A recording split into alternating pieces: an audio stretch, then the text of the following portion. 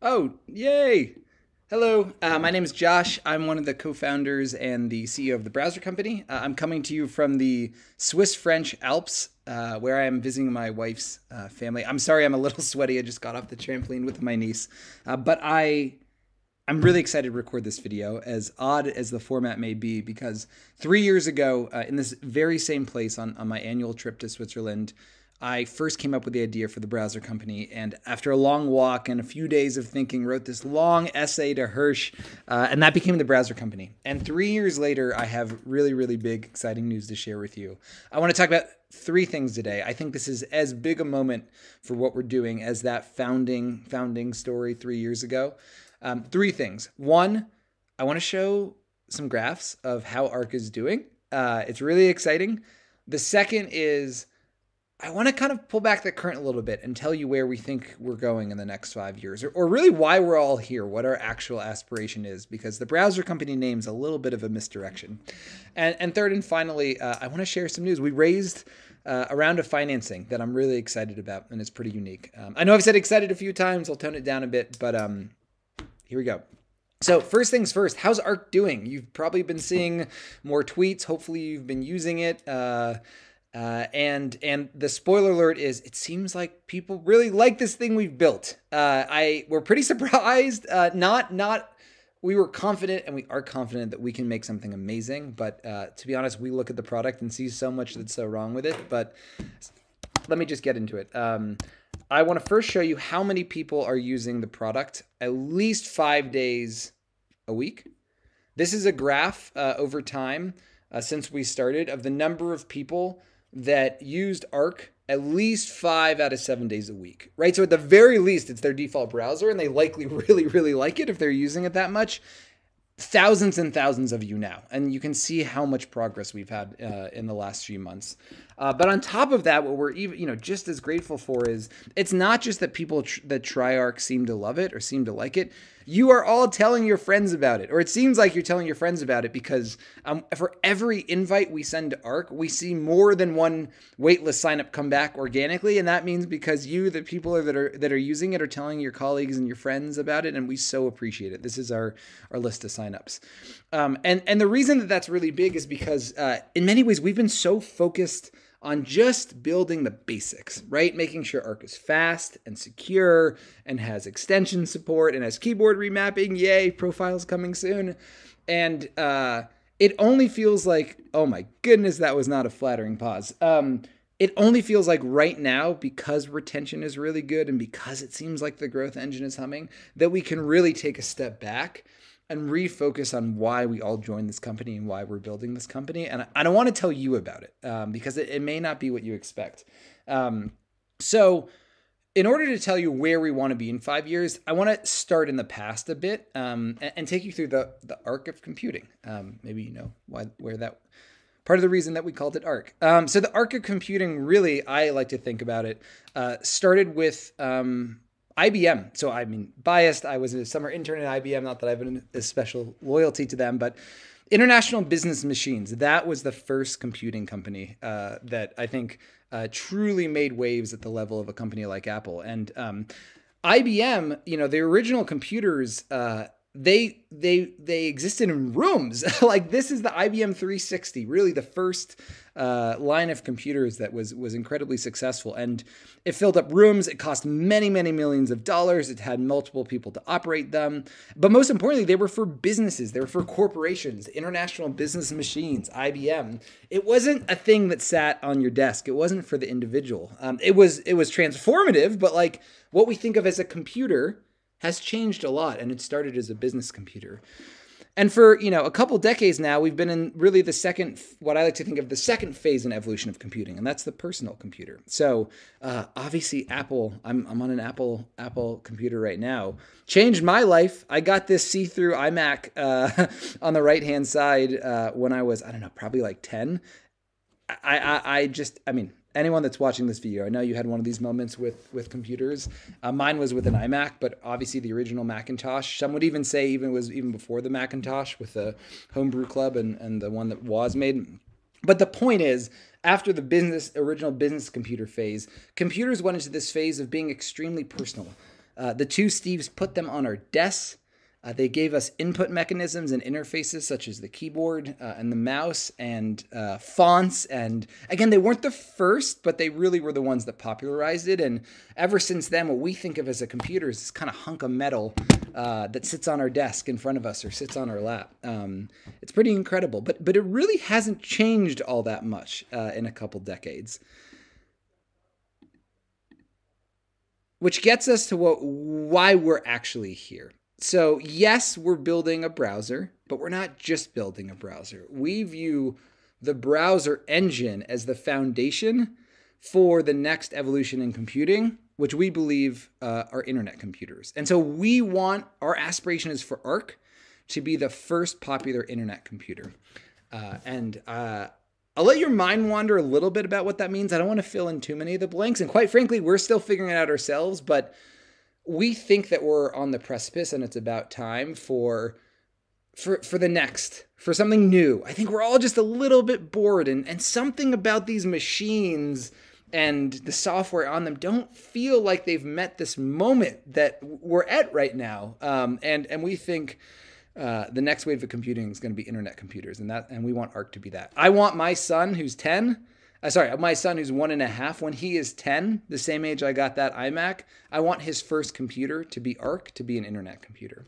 And the reason that we're so uh, bullish that that is this is the moment for it, whether it's us or someone else, we have no doubt that internet computers are going to be the next next category.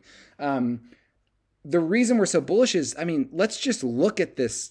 You know, I love I love this this personal computer. I love this laptop in front of me.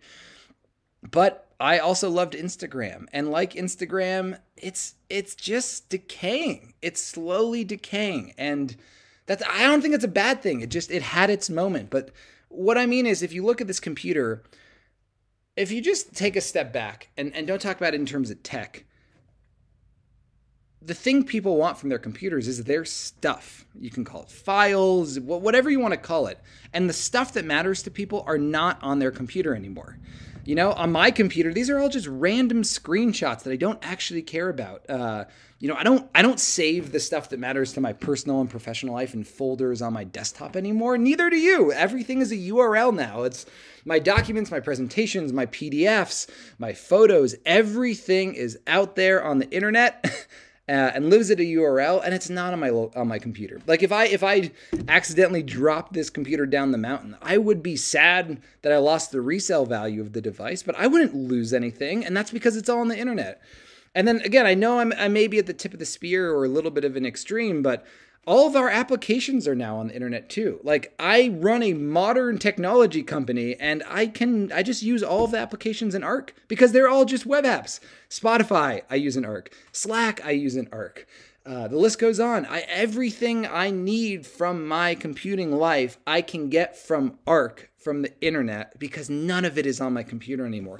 And in fact, most of the stuff that's on my computer, they're just Electron apps. And and for those of you who don't know about Electron, essentially that just means is something like Superhuman or Figma or Notion or Discord.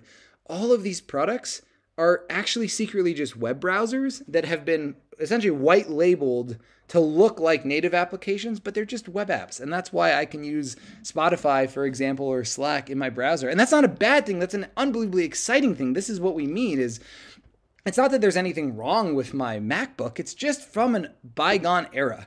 We are long live the web. The internet has had a resurgence, and we think the next great computing platform is right in front of us, and it's the internet. All of the developer, the best developers and designers are building for the web. All of the really exciting macro trends in technology. If you're excited about transformer neural networks or blockchain technologies or whatever it is that gets you going, uh, it all takes place through the internet, and it all takes place through an internet client, a web browser. And so really our hypothesis is that the reason that we're missing we're missing something called an internet computer whatever that looks like because our computing lives have moved beyond this hunk of metal. And and it's really exciting to think about a world in five years, whether it's ARC or another product and company, where when I come to Switzerland to visit my in laws once a year, I don't need to lug around this machine. I can free myself from the machine because I can go up to my in-laws computer in their, you know, in that back office. I can tap my finger on the on the device or I can toss it a glance and whoosh, my computer comes down from the internet, comes down from the clouds, and is right there on that machine because all of the stuff I need, all of my tools, all of my files, all of my people, my teams, all of those things are out there on the internet too. So it doesn't matter where I access it from. And so if you go back and you look at Arc and you look at it through that lens, I think you can probably see. Uh, you can see the seeds of that, and you can see why the browser company is called the browser company. Um, but not just because we're building a web browser, but we because we think the future of computing is on the internet and browsers are going to be at the foundation of that. But really what we're building is an internet computer. And and exciting part of that is um, there, we just found a lot of people who believe in that and believe in us. Uh, we just raised a round of funding from uh, Mike Krieger. Uh, Mike Krieger, Instagram co-founder. Just to have something to look at. Um, Mike is a wonderful, wonderful, wonderful human. Uh, just a lovely person who shares our values, um, and also happened to co-found Instagram and, and was its CTO uh, until it sold to Facebook and, and a long time after that. And and not only Mike, uh, but we also raised money from the CEO and co-founder of Shopify. Uh, the CEO and co-founder of Pinterest, the CEO and co-founder of Slack, the CTO and co-founder of Slack, uh, the CEO Front, uh, the for the the Camille Ricketts, who was the kind of first storytelling community person, brilliant at Notion, uh, and and and you know I don't mean to list these people to sound like a Coachella lineup, and, and we didn't raise money from these people just to.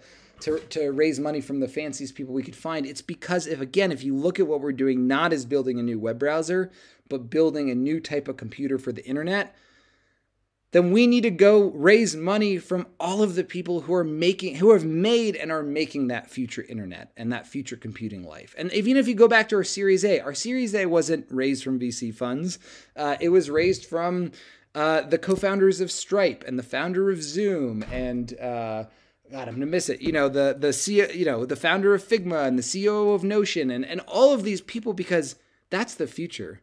And that feature isn't on our local computer. No one's making Windows apps. No one's making Mac apps. I mean, some people are making Mac apps, but really, people are building for the internet. And uh, just feel so grateful that they're uh, that we get to learn from from all these folks. Uh, uh and, on top of that, just grateful. I mean, it's a recession right now. It was, we did not expect to be raising money in this moment. And um, it wasn't only all these new folks, but folks like Nabil and Jeff and uh, you know who you are. All of the people that have come back and backed us again and again. Um, we're just we're just really grateful. And I, I, wanted to end by just saying I'm thankful for everyone watching this video. If you've been watching this long, we owe you a big hug um, because uh, whether you're friends or family or uh, someone that's been following Arc from the beginning or someone just loves the product or a new friend from the internet it really is a David and Goliath thing going on. We are going up against Apple. We are going up against Google. We are going up against Microsoft. And uh, we can't do that unless we have, unless you know, we're just a, bun- a handful of people in a proverbial room trying our best. Like we need the extended, extended crew. And if you're watching this, you're part of that. And so, thank you, thank you so much.